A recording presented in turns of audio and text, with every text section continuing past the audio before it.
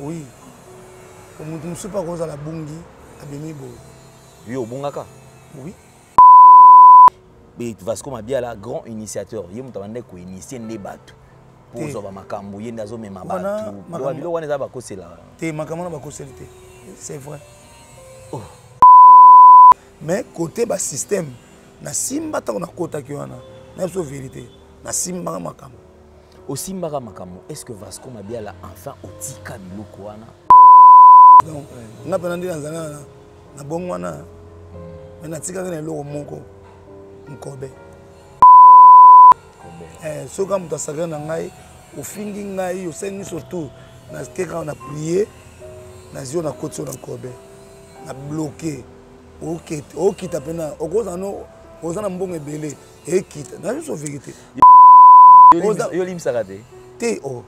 nalimbisa bato nyonso to basalanga mabe mm. cher nga sona na vie boalin eza grâce ya nzambe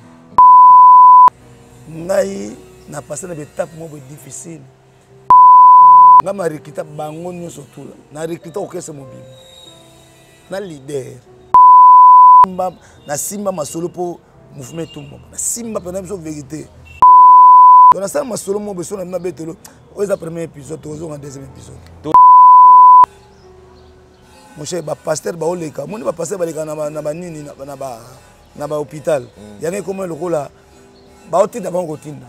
ana paster moko paster bafuna luka asambela na cinquième ere je crois nayebi ye paster naza koya chaque jour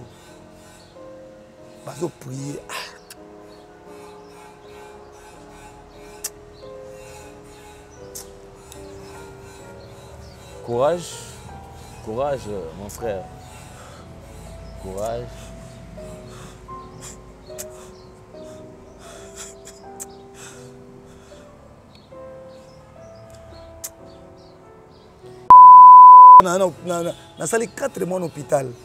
na bondeko mais lokola nzambetokataka émission pardon te mais comme yo mo déjà olobaki tokomi na retour ya nzambe ya makasi yango mona obele yango kobe soki babongwani te soki basengi bolimbisi te ndeko vasco mabiala nalingaka yo mpo na franchise yo kote mwa droiture mwa polele polele osakanaka te Denis la Fernandez wana je le connais très bien avant na ndako moko na moto oyo nasala mpa na ye na ex boss na ye eh. moto ozoyemba ye opesa artiste mbongo ma ma yembanga yembanga ntango oleki mpe boye hmm. na ndako omona mpe merde hmm. comprendre heure mo leka na ndako ezwa laro mare opesa opesi mais tellement baza na biloko ya nzoto yango tout se paye siba nzambe akofrape makasi envoute mwana mwasi ya bato obomi libala na ye ozwi ye opromettre ye mpe mwana mwasi ana depensa tro na biso verité nga moko te epuis oyo baza place oyo nga nazalaka oyo nazalaka zalaka hmm. un jour so balongwe balongwe longwe baoya kotemone eloko na loba nakosi te epuis ayebi soki otuni ayebi so lisolo ya nioka nguma yango tosombaka nguma yango eza nguma mwa masolo bosomba nguma oyo azala na ndako nazoyebisa yo masolo wana toyokaka keno nguma moko eza solo ayebi mama na très bien ayebi masolo masolo azoloba c'est vrai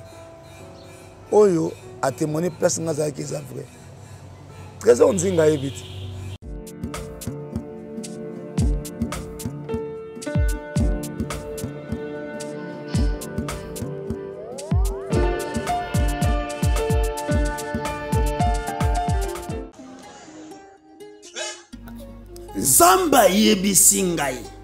na feti ya kana jésus abongolaki mai vino kasi sali wana bato bamonaki te yamba asufle ngai bikenda na veni luka na direction ya birmanie derrière maison communale ya ngiringiri nde okomona sali wana yango na ye mpo ye nzambe akosaka te mpo ngai nayebisaka nzambe wana so akosi ngai na ye tolobana te et du nouveau à Kinshasa. la la salle polyvalente Sam met à votre disposition une salle de qualité, conditions VIP, sécurité assurée, tout au bon point. Très très disponible à un prix abordable. Mariage, conférence, réunion, anniversaire.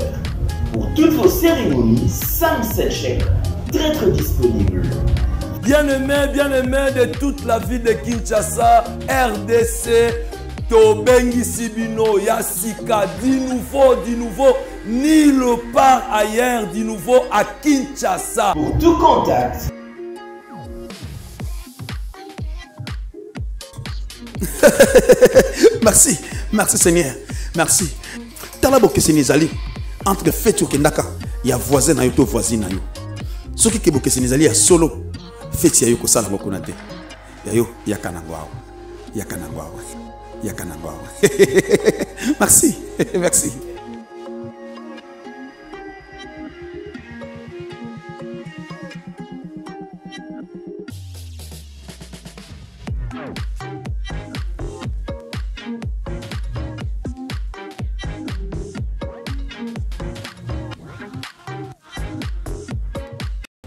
Vérité et réalité, votre magazine, mesdames et messieurs, vous qui nous suivez sur Nouvelle Tendance Télévision, Culture d'Excellence au rendez-vous. Bienvenue, comme d'habitude, à ces tout grands numéros, bien sûr, de ces grands magazines, Vérité et réalité. Bosolo pe lolenge ya kobika na bandako, na ba metro, partout vous avez l'habitude de nous suivre et clin d'œil spécial à tous ceux qui ont l'habitude de nous suivre à l'intérieur du pays parce que certainement la RDC également toza très très suivi. Merci na bandeko na biso ya Ituri, merci na bandeko na biso ya Équateur, ya Grand Bandundu, bandeko na biso nyonso tout ya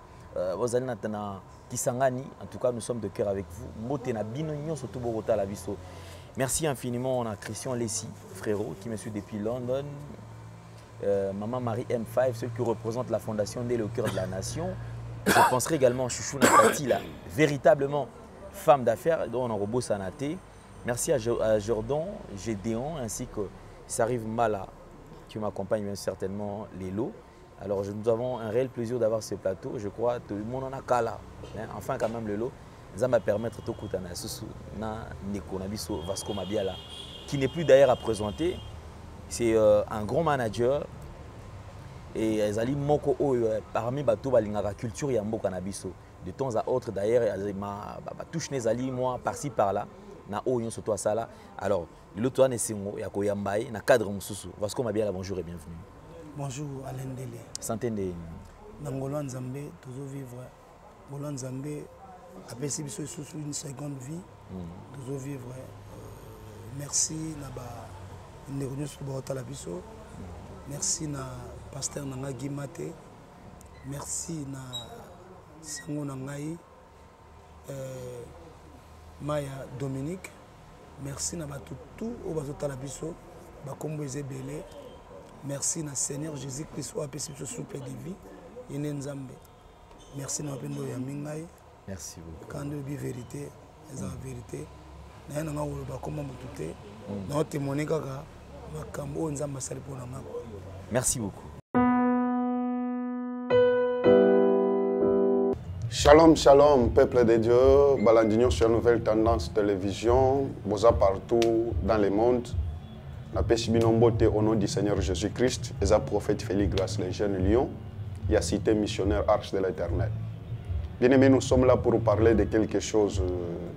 de bien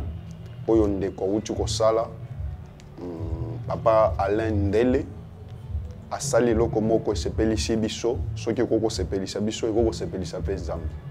eloko asali eza ke na kati ya fondation na ye asaleli biso orphelina christ redempteur Bien aimé, la Bible dit en psaume, quand un orphelin crie, l'éternel, les trônes de l'éternel bougent. Nzambe azopekisa Moïse, azoyebisa Moïse que ndenge boza wana moto alelisa mwana ye tika te. Voilà pourquoi na ba initiative na ye papa Alain Ndele afongoleli biso orphelinat Christ rédempteur. C'est pourquoi j'invite tous les enfants de Dieu. Boza partout dans le monde, boza chrétien. Oyebi bolingo, oyebi liter ya bolingo. Je vous invite à soutenir cette œuvre. Et j'invite bana nanga nyonso, bao balandaka prophète Félix Grace, bao bandimaka prophète Félix Grace lokola papa spirituel. Bao balingaka soutenir prophète Félix Grace. Soutenons ensemble cette œuvre. bolamu nyonso efutaka tala tomesanaka kopesa moto bafleur pendant qu'il est encore vivant que le seigneur vous bénisse Vasco Mabiala, depuis un certain temps, et euh, comme on est salaki la une, l'actualité, c'est vrai, ezalaki na événement malheureux oyo okutana na yango mais kobika na yo soki ofandi otala vasco ya lobi na vasco ya lelo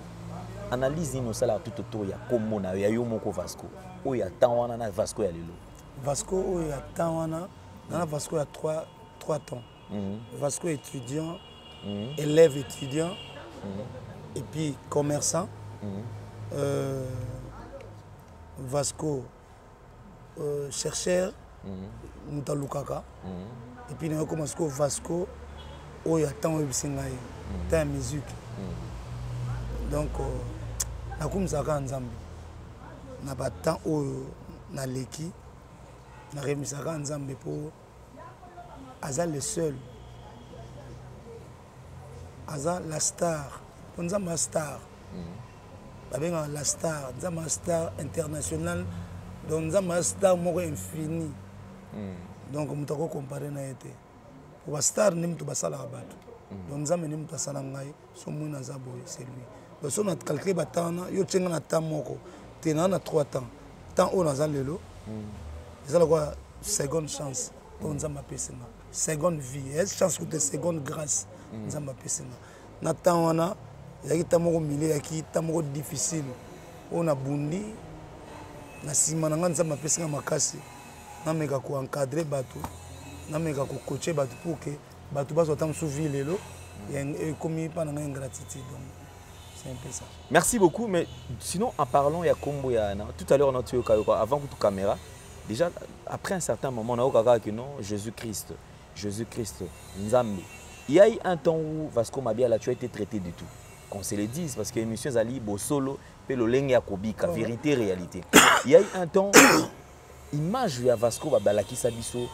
Vasco bouddhiste, Vasco chabouiste, Vasco, mutumo alingi ba recherche ya mama ba kisi, c'est-à-dire que ye penza il faut kaka na pesa makambo po mouvement ekende liboso ekende lelo image okomi opesa biso tout à l'heure moke moke jésus christ moke moke jésus christ comment est ce que olingaka koexplike bato nkombo oyo to nyonso bandaki kotakisa oyo avant ke lelo euh, merci omoni kati na nga déjà bato baotakise nga bakombo ebele hmm. oui moto mosusu mpe akozala bungi abimi boye yo obungaka oui puiske ngai papa na ngai nanu ayaki grand chef coutumier so oke na nzela mai okomi na kwa mutu fleve eke boye okoti na nzela kasai okei mboka mwa mushi hmm. bato oyo baotala ngai bayebi didas pembe toza mboka moko na ye hmm. napesi ye mbote sokomi na mushi après mboka moko na nzokele hmm. nzokele wana ezali fief ya ba ba nounu ba boma père na ngai grand chef coutumier donc ça kana te avant la chef coutumier au papa na ngai ki euh, directeur adjoint ya prison centrale ya makala okay. aki magistrat mm. directeur adjoint ya prison centrale ya makala ntango azwa pension ntango mouvement esalami ya papa tshisekedi ntango aye na makambo ya démocratie père na biso bakendaki kote na ye père ngai na mwana mombele hmm. papa na ngai aza soutenir eh, eh, papa tshisekedi wa mulumba président faci te eh, oui finks anime te hmm. donc bayaki mpena bacadre oyo oyo bayaki mpena donc bato ya pouvoir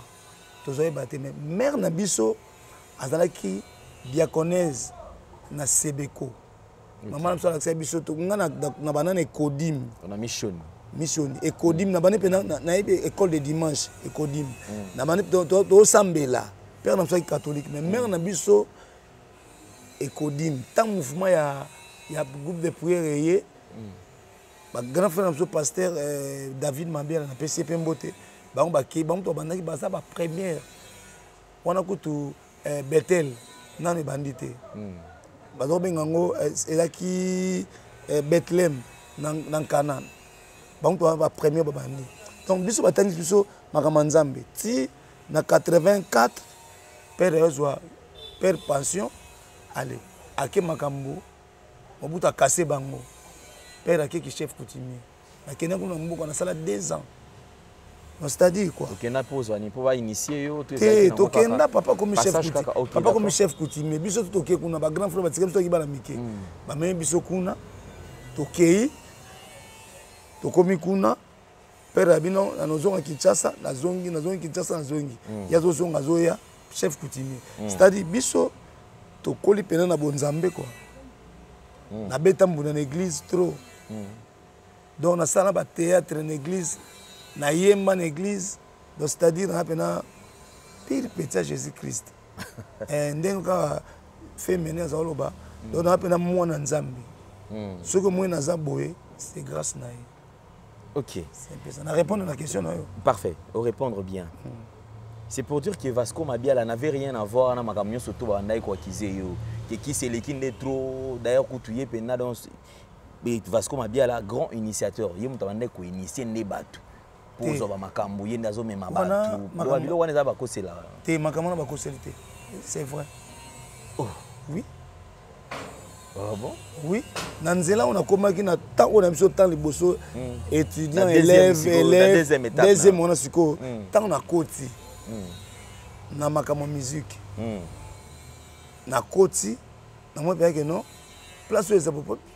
ba pire petit ça vient mon ibe hein. paix à son âme mm. toyaki mpena ntango maison mare ezali biso toyaki toyaki nef bamarketer oyo totanga yango ve na biso ayaki marketer atanga yango te mais azalaki na eloko ya nzoto bapesa ye mm. nga mpe nayaki na eloko ya nzoto eloko ya nzoto c'est-à-dire mm. oza na connaissance eloko ya nzoto bamosusu bakanisa ya kisi oza na ba chanteur mosusu babimaka ya boye akota ina te mais aza na lito azoyemba kutu bato koleka bato batanga ina donc c'est-à-dire donc nayaki ine nango nayebi mosala ono nzambe apesi ngai babenga babenga biso banani ah, nabosani nkombo ekimi ngai oya hmm, bato bafulaka bamusicien ah, bafulaka baartiste hmm. donc nayaki nango na maboko so nasali likambo efo esimba donc toyaki wana na vie monibe ti na temps wana ntango masolo ekei ndeko moko akie boye oyo batangaka nkombo te ntango bapanzani nga sikoyo nakangamaki na motu moko mais nakangamaki na ya parti ya église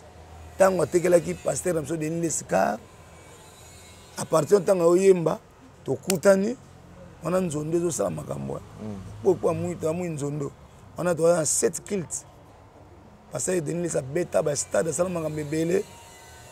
wana ba pasteur mutombo église ayaki mais dimi hein mm. biso pena tokosala pena premier ekiti omona pena 4 heures bato batondi wanga sikoyo baseri wana nayaki président ya baorchestre ya nzambe ya église ta bamisala nasali mm. nao dépasse balaa nayaki na pharmacie nayaki na bayasi na nga dimanche omona pena keno eye ememi bato eke tikatika bato so otuni pasteur denis soyebisa nayaki pena mwana nzambe et puis pasteur denlesi bato bamona eza mosusu pasteur denlesi aventure c'est un homme de dieu bato bamona kaka nde mpo motu na motu l'homme de dieu aza motu aza mpe motu akokweya atelemi mm. mais ce pasteur longa na confirme c'est un homme de dieu toza kosambela toke pa toke na, na, na, na ma campagne na allée verte mm. église ya eh, eh, ndako ya pasteur denis eyaki so emene ya so otali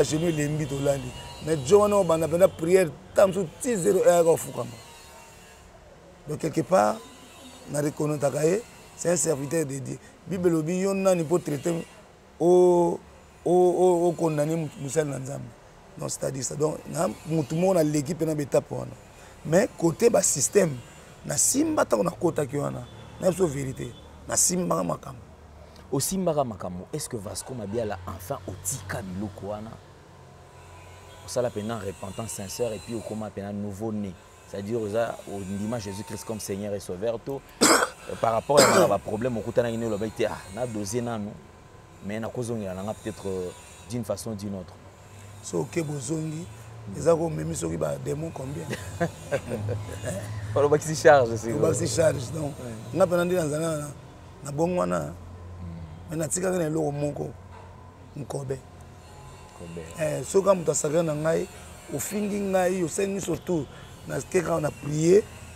nazwi yo nakoti yo na nkobe na bloke okita mpena okozala no oza na mbongo ebele ekita na nyonso verité yo olimbisaka te te o nalimbisa bato nyonso to basalanga mabe mm. mon cher nga sona na vie boalin eza grâce ya nzambe mm. so omoni nga na vie boye ya grâce ya nzambe so otuni sœur jenny jenny fernandez mm. oyo azosala batémoignage mm. ayebi ngai na passé na baetape moko difficile tideki ozalaki directeur ya marketing ya un certain société totya société mm. ocomprendre mais oko futa ndaku te allo sœur Jenny sœur Jenny pardon nde nazali awa sunga nga pardon tina nga 200 dollars hein. osala 200 dollars na besoin futa ndaku futa ndaku mais 200 ah bosengaka 200 bata 500 te mpo na presse na otindelo 500 q navandi boye pesaka limero na actinelo q Allô Fabrice Mola nde nini na besoin sans donc na vivre na tol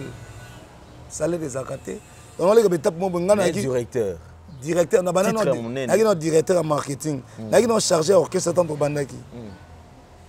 so otuni bapeti nanga bawulu bango tu bayebi wana osala na chalina so nasisi mosala boye directeur wana tobandi mouvement ngai marekita bango nyonso tula na rekita orchestre mobimba na leader ozo comprendre donc leader akendaki na ye akei leader akei akei akimi nde na londres alongwe tosali basali le marki ntango basali mouvement basalaki wana ngai awa charli malenga na fezo bozi mpe ya sonam bayoluka nga nde nini presa alobi boye tosali eloko naluki bato bamusicien tobandi chargé d'orchestre nakomi dictateur ya marketing naye koma cg cg mpe naa dictateur ya marketing mais ndako mpo nafutela il faut natole bokovoyage boke boye ozwi mbongo ebele oyo ya contrat mais na suka bapesi bamisete na biso 300 300 yo bapesi yo 400 oye yo calcule ah 400 oyo naye mpe na madame moko asalaka mare simba katsa donc naleki na betape moko boye oyo nazosimba nasimba nasimba masolo mpo mouvement etumbama nasimba mpena biso verité nasimba yango nasimba mama ndanga bayebi ngai hmm. oui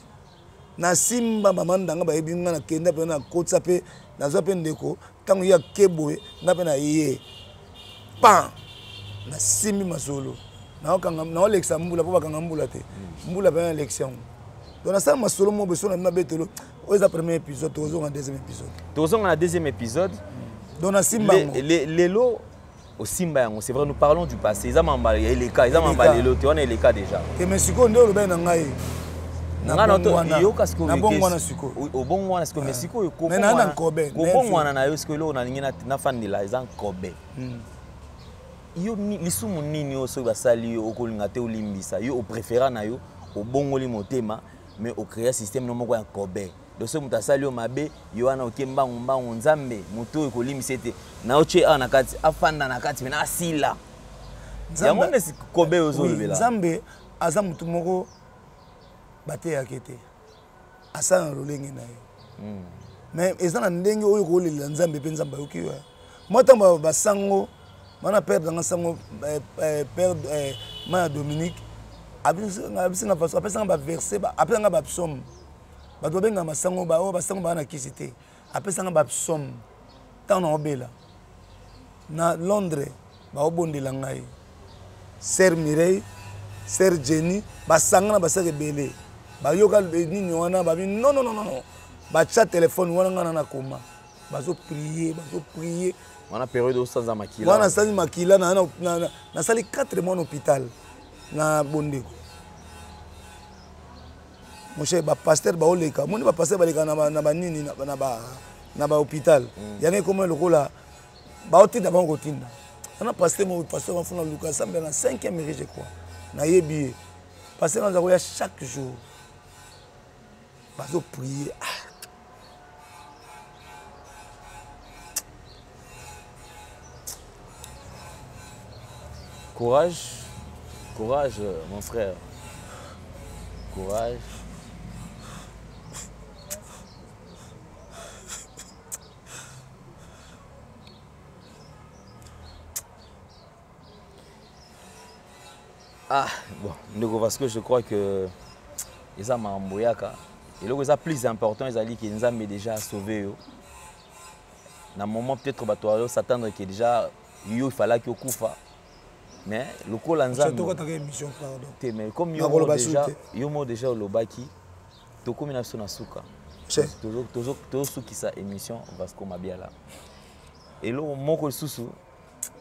eloko esepelisa ngai ezalaki peut-être croyance niveau ya croyance oza nango kondima ke en dehors ya nzambe mosu aza te c'est-à-dire jésus christ de nazareth ye nde star ya bastar donc ye nde aleki makambo tu parce que même bible olobi yango moto nyonso celui qui se confie à l'homme moto aotalela motu alakelama mabe mais lokola yo quand même ozondima et puis ozo reconnaître que non maman bando lakisa ja nzela nzambe depuis bon moi nzambe alimisa nga émission tout na ça eza lokola vengeance na sens nini baleka batinda garçon moko abetaka kitabu afinga mama na nga yango moni epesaki nga nakoki asukola bapaster baoteya nga babila kota mission te nakendaka na sali nzambe alimisa nga ekomi elongo na butu ekomi ti na moi so otali raison eza te mais basanza nga retour ya nzambe ya makasi yango mona obela yango kobe soki babongwani te soki basengi bolimbisi te nayebisa yo ata ozali wa plus ke faci mpo biso toza présent ya faci mm. soki yo soki olobi oza plus ke ye boza moto ya mokili so nzambe abe afrappe afrappe yo bamekana omoni bokozala ta mosusu na omoni na baeglise omoni bayo tondebele mm. mon cher ekozala kaka na motu moko azala na suka kuna ntango mosusu aza protocole nzambe atie na église wana parie ntango mosusu paster azwa chaleur mais soki bosali ye mabe to paster amoni ke hmm, moto ana lumière abengani ye shit ezalaka makasi shit libre totanga yango na chimie na, na, na physique Vous comprenez hmm. Vasco Mabiala, merci. Donc, euh, site libre, makasi yango kobe na zoyebisa bino eza spiritualité makasi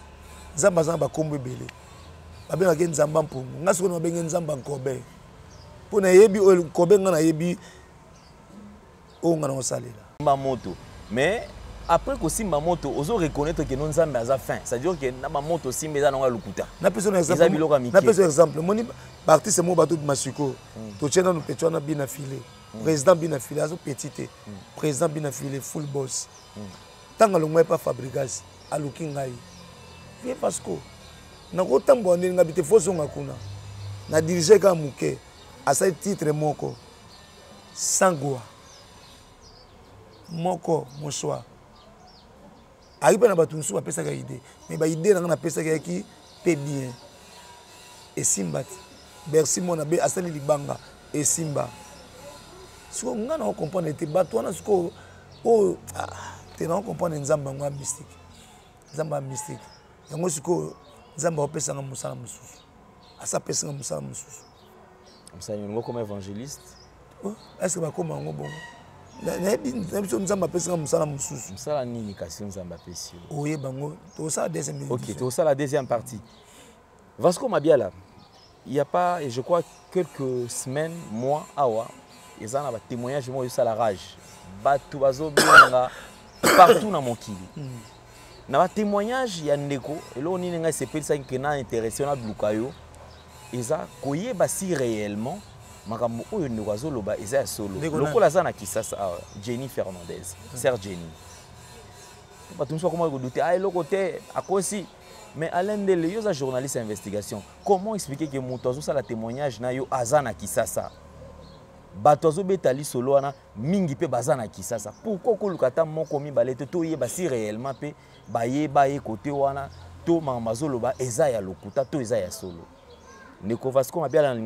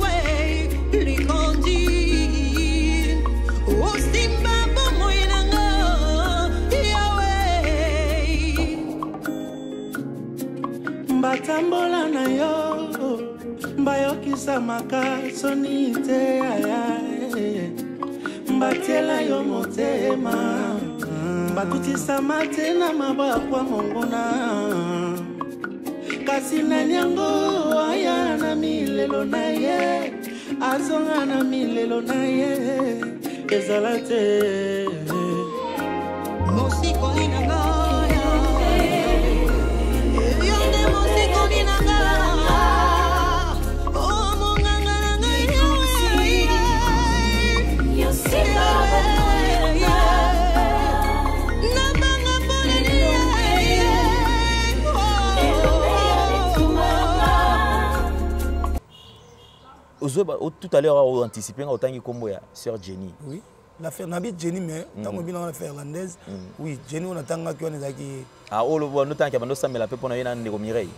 So tu madame manga ezan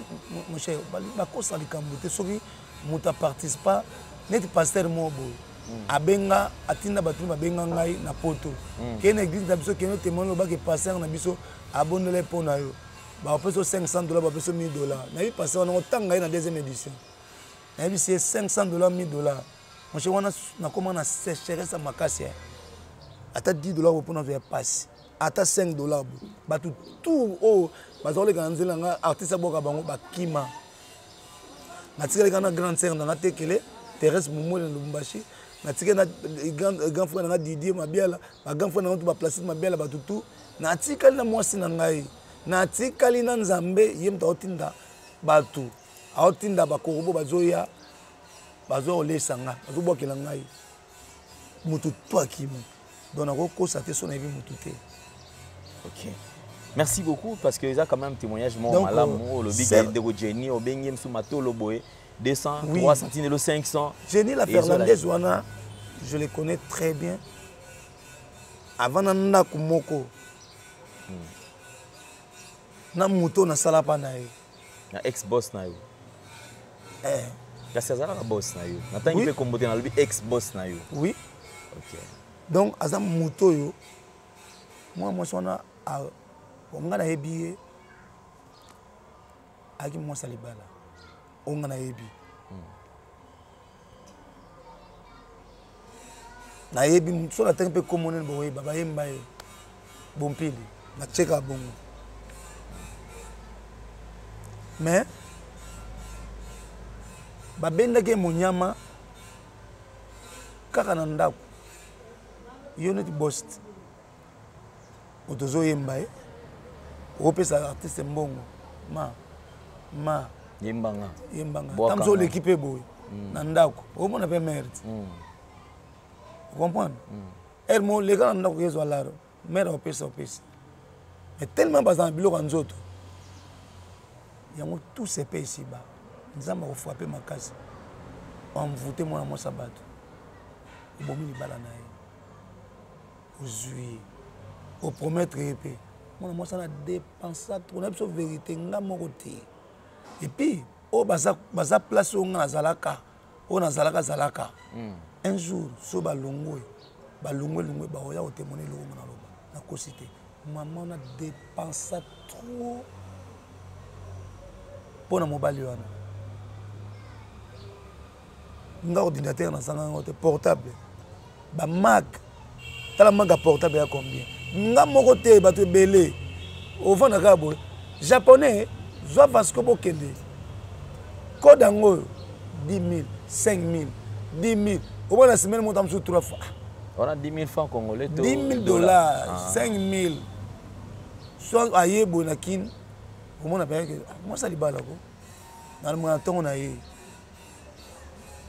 mais suye mpe azalaki gentil nde nini kopesa biso conseil asangisi badanse ezokele bango bilamba donc makambo ebele asala makambo ebele je le connais très bien je la connais très bien mais ntango nataki mpe témoignage wana be e eh, mwasi nakuta ndima ete abi a rien abongwani te ngabi moto oso abongwani te aza une semaine te ndenge nayebi place wana nayebi moto ezalaka kuna epuis ayebi soki otuni ye ayebi so lisolo ya nioka nguma yango tosombaka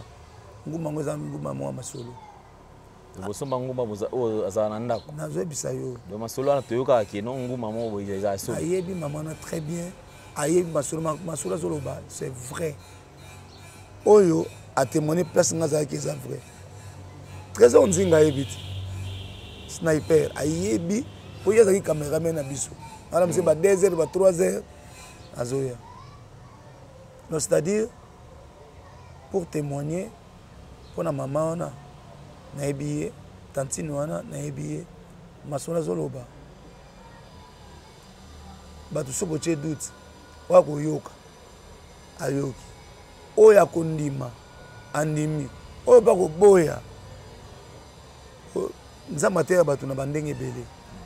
ozokomoma nde naleli boye donc nayaki mpasi moko ozongisi nga na ozongisi nga na souffrance moko nauti nango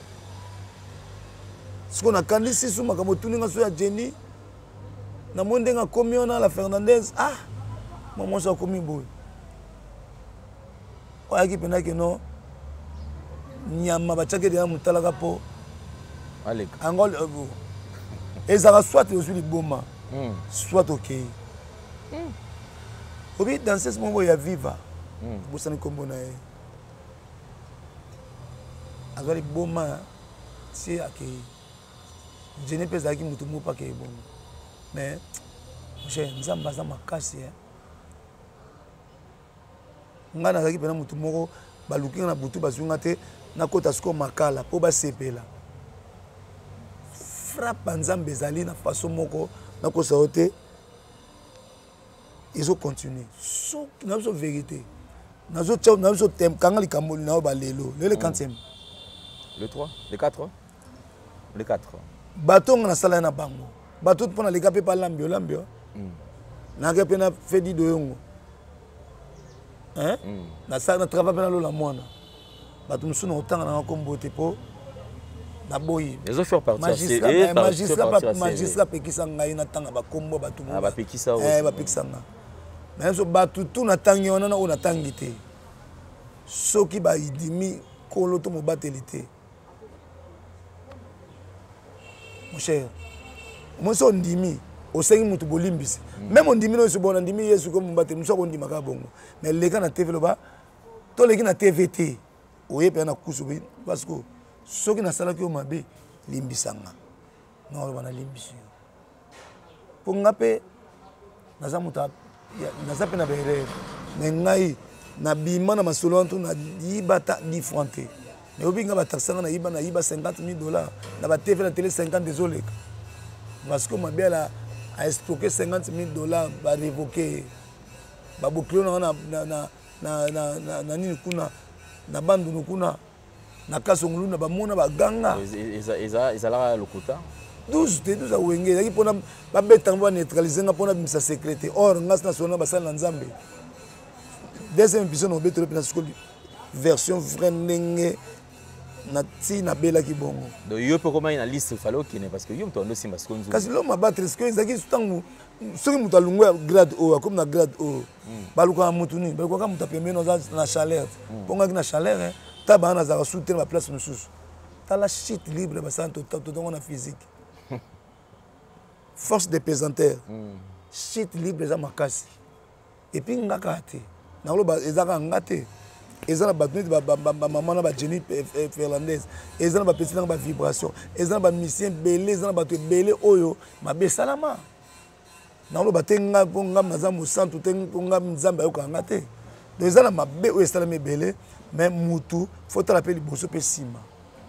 mpo nga ata batyeli nga 1 million de dollars boabi so nga place boye malamu nalia frère nani oyo ya frère na biso tosambelaka nde na na église na biso na lemba frère nani abetaka bagenerique mingi nani moïse matuta moïse matuta alobi eh, nadimi nalia lipa okauka abi soki omati soki omati omati likolo na nini keba okosala nini eh? hmm. nandimi nalela na nga nini nalela nga nalipa oka otala clip yango mhm. na félicité mpenza tosambelaki na salem eh oui likolo na na maison du potier pasteur guy mais na mpe kamona salem nakendaka mpe frère wana teya bolanda nzembo wana oyoka mpena donc eza inspiration nzambe apesi nzambe apambola frère moïse matuta donc euh, ndeko nanga nde nanga na chaleur moko so otindi ata basoda ngo nde balukanga balukanga bazwi nga te basala nga avis de recherche comme un criminel leta na biso fo abongisa makambo mpo nga mabiala natambola partout tindi nga premier comporte deuxième mais avis de recherche donc baoluka nga lokola na boma motu bazwa nga basabota nga bafilma ngai naza baimage wana mais un jour nalingi nazonga mpe nako napesi mpe papa eh, frère kofi nabengi mpe na frère kofi ve na biso kofi olomide apesa ngai avocat makasi tony mwaba excellence excellence akomi lelo ministre na biso aya kosambela ngai ocomprendre mm. donc bazwa ngai lokola mbwa me babosani oyo ngai nasalaki so ngai nasala bango mabe nzambe ayebi kaka pene nga me ndenge nzambe apesi ngai vie nzambe apesa bango vie bamona ndenge na omata lokola oza okomaka okoma mwana na nzambe est ce que tu es prêt à pardonner soki lelo oyebi ke non so aye abitolimbisi eh, nabimisi mpe na nkobe oui obiki parce que euh, euh, malgré kaka mais euh, mwa eloko kakaeza spirituel to makasi zela nde eza impision naoyebi biso naoya nango mpenza awa na tie awa omona nkobe bato mosusu balobana nkobe yango eza kisi eh, bondima bomona mais ngai nalobi babima na nkobe eza so otali na kisangani batya banini moko bobisaka wana hmm. bambisi bautaka na nini na vitesse bakoti hmm. so mbisi akoti mpo bima ya mpasi donc fo bafongola o eh. donc kobe charge ya bato tour ekwesi ko na nsima na ngai merci beaucoup vasco mabiala toshite na biso nini okoki koyebisa sere na yo jenny fernandez oyo akangami na nzambe azo aider pe ba ndeko misusu na losambo tout le temps andimi ko sacrifier vie na ye tout le temps kende mangengenge koluka elongi na Nzambe lelo akomi quand même lipamboli pona ba ndeko misusu nini okoki koyebisa ye natala camera mm. ma sœur Jenny nzambe apabolo place ozali oyebaki kutu te lelo okoma nzambe akomi so place ozali po soki nzambe aponi yo ata okimi lokola eh, nani oyo akima libulu ya ninive eh? akimaki na nini jonas akimaki na nini akimaki mais akwei na ebale omeke nayebi bible eh? mm. bonaoninga na ikolongo soko malemi malemi ale nzambe akotisa na monoko ya mbisa yo obimisa ye donc so natali nde tozalaki nao na baboite tozomela tatouage moko akoma kutu komba artiste ye moko alakisa yango yango e vasco naotala baparfum ye na biso boye eh, naotala makambo ye na biso mais nzambe amemi yo sikoyo na dimension mosusu dimension te amemi na seconde grâce soki osali erreur baoyelo mpenza bakopropose yo bakotinao mpe par moto mosusu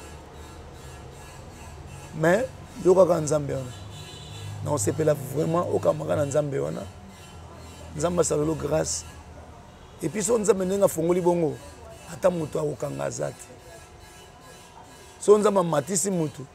jamais okita ser jenny la ferlandaise nzambe epesa mpenza ko eza mpenza donc babenga yango nini les aléas donc nzambe abakisa biso ebele continue kaka na nzambe wana kokanisa koraisonne oyo perda te ngai matangi yango kutu so olandi émission oyo ntango mosusu esala oyo kofriste yo natangi kaka moke deuxième épisode wana nabeta yango ya 9 secret oyo nabaka 9 secret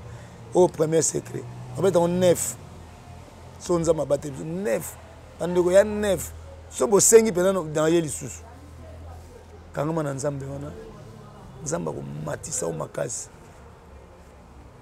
ntango mosusu okoma deuxième dame ya mboka oyo on ne sait jamais po première dame aza déjà okoma mpe deuxième dame ya mboka oyo ata okomi deuxième dame te okozala première dame epai ya jésus christ donc nga na wabengi kutu première dame ya yesu donc c'est-à-dire kangama na mobali na yo yesu kristo nzambe aosala yo nzambe apambola yo bandeko na mosala nzambe soutien ezangaka te soki omoni ser geni aleki bopambola ye ata na balimero bomoni bopambola ye kopambola oyo otya ata mosusu 100 franc 1 dollar yeba ke nalonga mpena nini yeba ke nzambe wana azongisa olo ebele ntango mosusu masumu osali omela bawiski ebele trop mpo biso omela wiski na ye na babwate tosala makambo ebele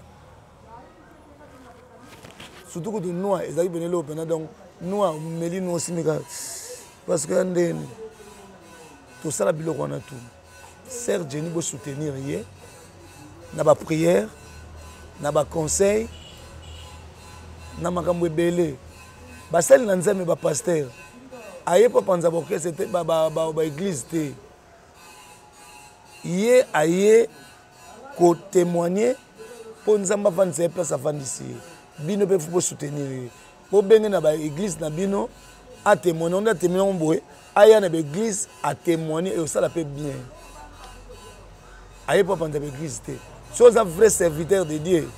bokobenga ye aye bato bopamboli ye bosoutenir ye financièrement spirituellement spirituellement deya nzambe aobatele kutu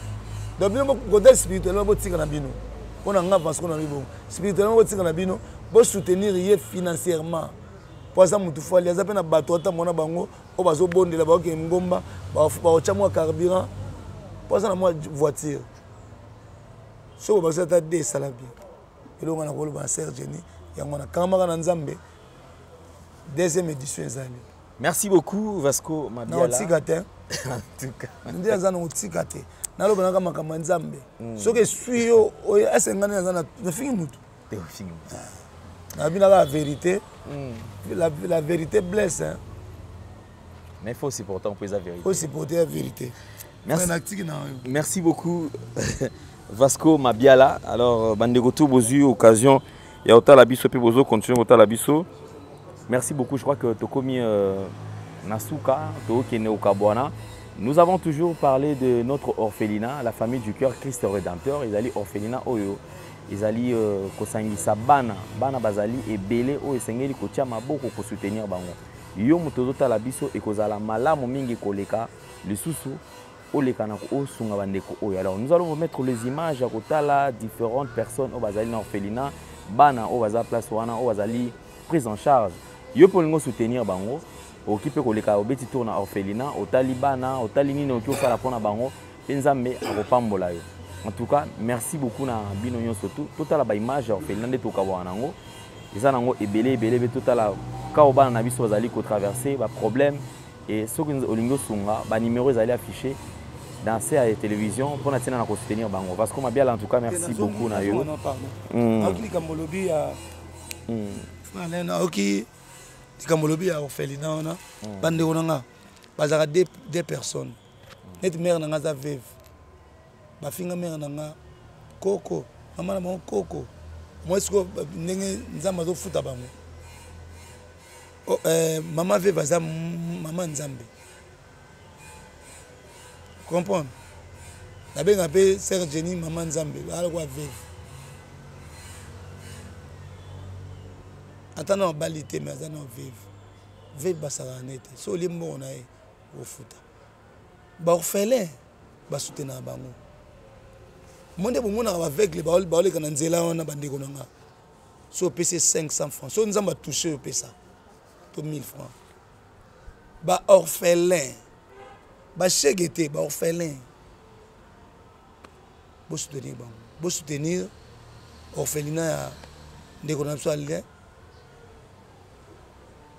soki balimero eza wana soki eza whatsapp ya nini ya mpesa bosoutenir ndeko na ngai nakosa bino te so omoni nga vasco nao vivre boye nasala badon ya ebele natyaka badime so tovoyage ntango naki na baorchestre wana so nazwi 300 dollar nalonga 30 dollar nanga deya banda kala naye na bambion mpa natiki mbonga nzambe yango moni prophetese moko boye ayebisa ngai parce que so obiki boye ndenge oza na kobika mpo na badime mpo na badon oza kopesa yango nayebisi bino bosoutenir serge na mosala so ozwi 10 dollar kopesa wana 1000 dollar kopesa ta 10 dollar to 100 dollar obike nzambe apambolo makasi akopambolo ndeko nona kosa yo te soko soutenir orphelina ya, ya papa le nzambe apambola yo mais so ozokeka na bar bi bi bi olango olali ntango olamuka mbongo esili nzambe atie osusu abeti yo eloko mo bosu eza kilo donc c'est à dire bosoutenir orphelina ya papa le nzambe apambola bino merci beaucoup vasco mabiala merci beaucoup en tout cas Euh, on va, j'espère que nous allons nous retrouver très très prochainement. Merci na bandeko nyonso tout bazo soutenir biso. Tola na ba image ya orphelina. Merci na bandeko tout bazo benga biso de part et d'autre. En tout cas, maman Marie M5 depuis Liège, merci na yo. Chouchou na Tatila véritablement femme d'affaires, merci na yo. Alors tokutani tout à l'heure na ba image, tokutani prochainement. Tout à l'heure ba image, merci.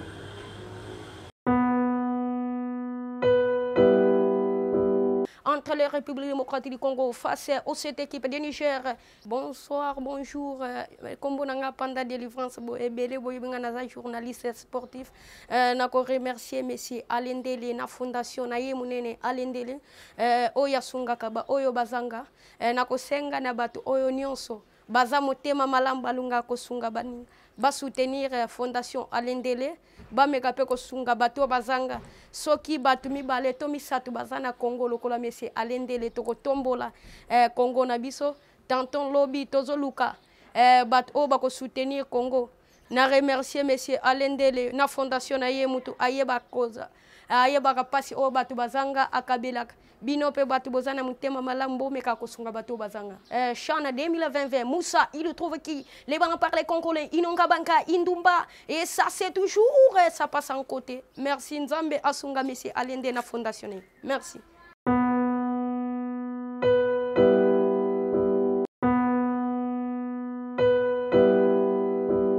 Shalom, shalom, peuple de Dieu, Balandino sur Nouvelle Tendance Télévision, Boza partout dans le monde. La paix beauté au nom du Seigneur Jésus-Christ, et la prophète Félix Grâce, les jeunes lions, et a cité missionnaire Arche de l'Éternel. Bien aimés, nous sommes là pour parler de quelque chose euh, de bien. Oyonde hmm, Hmm, papa Alain Ndele asali eloko moko esepelisi biso soki ekoki kosepelisa biso ekoki kosepelisa mpe nzambe eloko asali eza ke na kati ya fondation na ye asaleli biso orphelina christ rédempteur bien aimé la bible dit en psaume quand un orphelin crie l'éternel les trônes de l'éternel bouche nzambe azopekisa moïse azoyebisa moïse que ndenge boza wana moto alelisa mwana ye tika te voilà pourquoi na bainitiative na ye papa alain ndele afongoleli biso orphelina christ rédempteur c'est pourquoi j'invite tous les enfants de dieu boza partout dans le monde oza chrétien oyebi bolingo oyebi liteya ya bolingo Je vous invite à soutenir cette œuvre. Et j'invite bana na nga nyonso bao balandaka prophète Félix Grace, bao bandimaka prophète Félix Grace lokola papa spirituel. Bao balinga ko soutenir prophète Félix Grace. Soutenons ensemble cette œuvre. bolamu nyonso efutaka tala tomesanaka kopesa moto bafleur pendant qu'il est encore vivant que le seigneur vous bénisse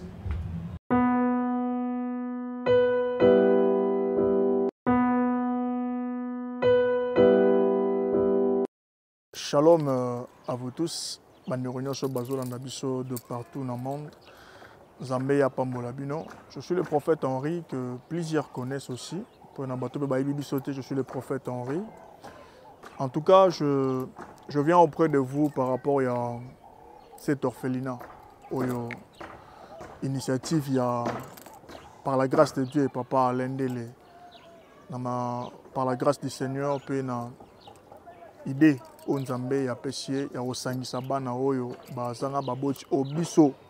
tokomi baboti na bango sinon je voyais plusieurs fois baaction abandaki kosala libanda euh, koma azalaki kosunga asungi non seulement baorphelin namoni meme basi bazangaki bandako atongeli bango babisika namonaki meme bafille mère obaki na makoki te asungaki bango en tout cas je vis euh, cet homme faire un grand travail na don oyo nzambe apesi ya liberalité et alors que nzambe atie na makanisi na ye na esprit na ye azwa esika mpo na koza sikoyo bana oyo baza bana bitike totya bango na esika oyo mpo na koencadre bango kopesa bango mpe le meilleur de la vie la chance de devenir bato parce que kokotala orphelin eza te ke motu elingi koloba te ke abandonne elingi koloba te ke motu moko boye oza susu na espoir ya vie te mais ces enfants aussi ont ont le droit de vivre heureux bako mapelo bi batu combien de ministres aujourd'hui combien de grands hommes aujourd'hui bazaki pe ba orphelin lelo baza batu minene alors si par la grâce du Seigneur orphelin moko akobika na nzela na yo ozolanda nga orphelin moko akolia na nzela na yo ozolanda nga si par la grâce du seigneur euh, même minerval orphelin moko ekouta na nzela yo ozolanda nga le seigneur ne manquera pas à te bénir en accord avec esaïe chapitre 58 la bible dit soki opesi oyo azangi ya kolia eloko ya kolia soki opesi oyo azangi ya kolata eloko ya kolata la gloire de l'éternel ekotambola na motu wana et sa guérison germera promptement c'est à dire que sur tout le plan de la vie ya motu wana spirituellement et physiquement nzambe akovisite bato ya ndenge wana c'est pourquoi ntango nayoki que bazwi esika mpo na koatya bana koencadre bango je voulu être la première personne ya koya kobonde d'abord mpona esika wana korecommande yango na maboko ya nzambe et puis voir euh, ce qu'on peut aussi par rapport ya bacapacité na biso mais si moi prophète de l'éternel j'accepte peut-être ya kosoutenir mpe spirituellement et pourquoi pas financièrement ce n'est pas pour notre avantage ni avantage ya papa alendele mais c'est pour l'avantage du royaume